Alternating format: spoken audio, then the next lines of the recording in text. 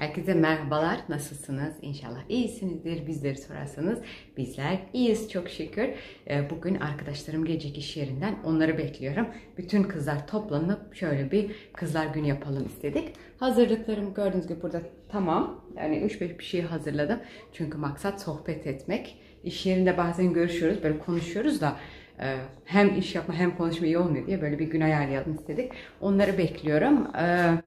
O yüzden e, her an gelebilirler. İşlerimi bitirdim. Dediğim gibi soframı, e, masamı da hazırladım. Bir önce merhaba diyeyim dedim. Eğer fırsatımız olursa da hep beraber bir e, kızlarla da tanıştırayım sizi diye. Dün akşam Kamil'in e, iş arkadaşı vardı. Onlarla tanışmaya gittik. Hani en azından Kamil tanışıyordu. Ben eşiyle tanışmaya gittim. Hani orada da iyi vakit geçirdik. O da güzeldi. Yani e, bu iki günü sadece iş ve iş arkadaşlarına ayıralım istedik. Yani korona da biraz hani azalmışken diye demeyeceğim. Çünkü bayağı bir e, burada da yükselişte diyorlar. Malumdur kış ayı geldi. O yüzden de zaten böyle meclis toplantılarını bayağı bir takip ediyorum. Bakalım neler olacak diye. Ama e, arada bir de böyle birbirini ziyarete gitmek çok iyi oluyor. Çünkü moralen de biraz kendini toparlıyorsun açıkçası. Yani bunu da söyledikten sonra hemen şimdi size bir e, masamdakileri göstereyim. İkramlıklar neler hazırladım. Klasik olarak şöyle bir çevireyim size. Bu bahçemizi süpürmüştük ama hiç belli değil. Aslında çok az şeyler yaptım.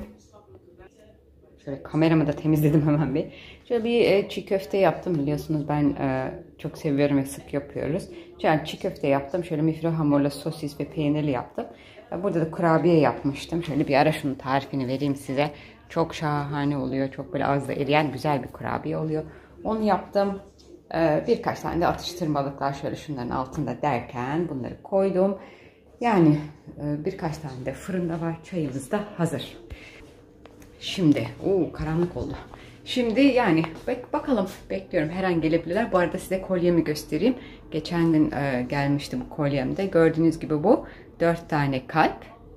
Ama ki bence bu dört kalp olmasının e, en güzel avantajı da ben bunu bizim ailemiz olarak görürüm bak. Biz dördümüz ve dördümüz birleştiğimizde tekerle de çok zor oluyor ama bu şekilde bir şey oluyor. Clever to fear. Türkçesini çıkartamadım. Ama böyle şey e, uğur getirici e, şey var ya ondan oluyor. İsterseniz böyle açarak da taşıyabiliyorsunuz. İsterseniz öyle kapatarak. Benim çok hoşuma gitti. O yüzden aldım yani. Böyle bu şekilde ta şimdi takacağım da sonra da şöyle kapatırım. Tekrar kapatalım mı? Olacak mı acaba? Bak böyle de bu şekilde. Dediğim gibi benim çok hoşuma gitti. Ben böyle şeyleri anlam yüklemeyi de seviyorum biliyorsunuz. Hemen böyle dört kalptir falandır filandır diye. O yüzden camın önünde bekliyorum her an gelebilirler diye. Misafirlerim geldi. Kahve yapacağım. Az sonra da sizi tek tek tanıştırayım onlarla. Önce bir şöyle bir oturma faslını halledelim. Ondan sonra da gösteririm size. Arkamda gördüğünüz gibi de çok neşeli çocuklar da geldiler. O yüzden güzel. Kızlarla birlikte artık sohbeti koyulaştırdık. Şöyle sizleri tanıştıracağım. Bunlar benim iş arkadaşlarım. Ee, her zaman bahsettiğim e, çalıştığımızda en güzel olan. Bakın burada da yaramazlar var. Orada da bir yaramaz var. Burada akıllı kızlar var.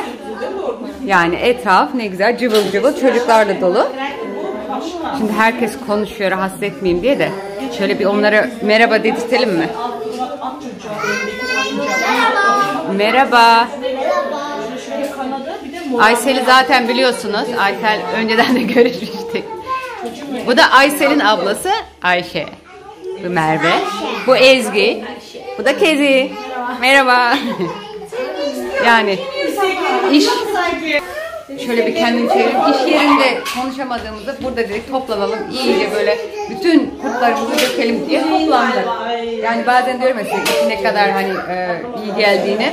Bunlar olmasa iş de çekilmez aslında. O yüzden ben çok memnunum. Şöyle bir gruptan size e, göstereyim şöyle. Merhaba. Merhaba el sallasana tabii canım. Aferin sana. Ya. Dondu.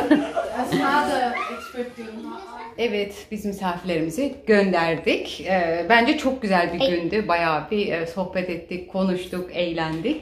E, iş yeri dışında da birbirimizle görüşmek böyle çok güzeldi. Hem sizler de biraz fikir edinmişsinizdir. Ben böyle arada e, iş yerine gidip de Türkler çalışmak güzel dediğimde nasıl bir ortam olduğunu. Bunun aynısı iş yerinde gibi Sen- düşünün. ben yoruldum. O yüzden e, Melisa tabii ki yoruldu, ablalık Ha, yaptı. kafam- Hatta e, son anlarda biraz ablalık yaptı. Çünkü Ablalık. biraz çekindiler birbirlerinden. O yüzden. Ama dediğim gibi bence bugün de güzel bir günde. Yani şimdi ben hemen burada toparlayacağım da yemek yapacağım. Önce e, güzel arkadaşlarım neler getirmiş onları göstereyim ben size. Hiçbiri de e, sağ olsun elleri boş gelmemişler. Hepsi. Çiçek sevdiğimi biliyorlar. Bakın. Şahane çok güzel çiçekler. Çok güzel şeyler. Buradan tekrar hepsine çok teşekkür ederim. Çok güzeller. Ki zaten onların gelmiş olması bile bence çok çok güzel. O yüzden hemen ben şimdi yemeğimi yapacağım. Ee, ne pişireceğim hiçbir fikrim yok ama yapacağım. Ondan sonra da üniformamı ütülemem gerekiyor çünkü yarın sabah e, işe gideceğim. Oradan da yani artık ne yapacağız bakarız. Yani bu demek oluyor ki bugünümüzü burada kapatacağız. Yarın vlogumuza devam ederiz. Onun için şimdi Melisa bana yardım edecek. Şöyle bir şişt yapacak da ertesi gün olsun. Evet, ertesi gün oldu bile. Ben işi bitirdim, eve gideceğim.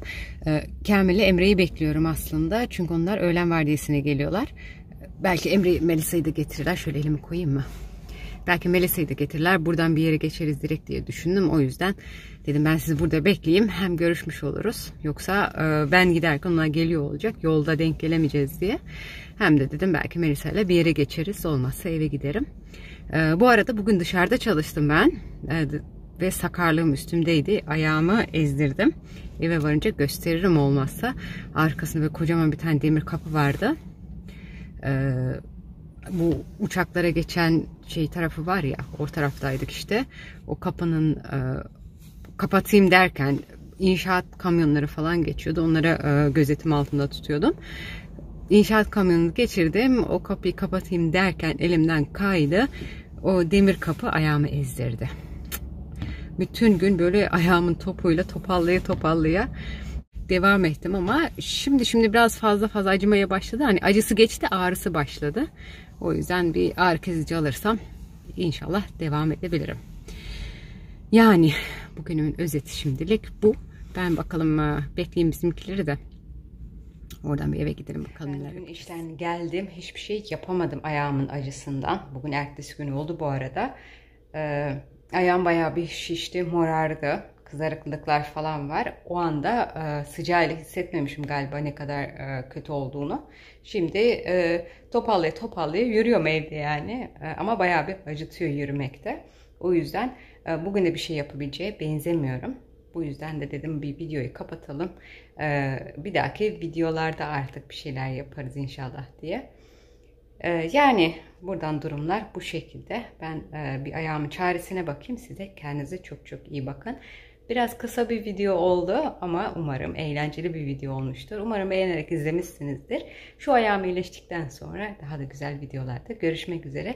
Kendinize çok çok iyi bakın. Hoşçakalın.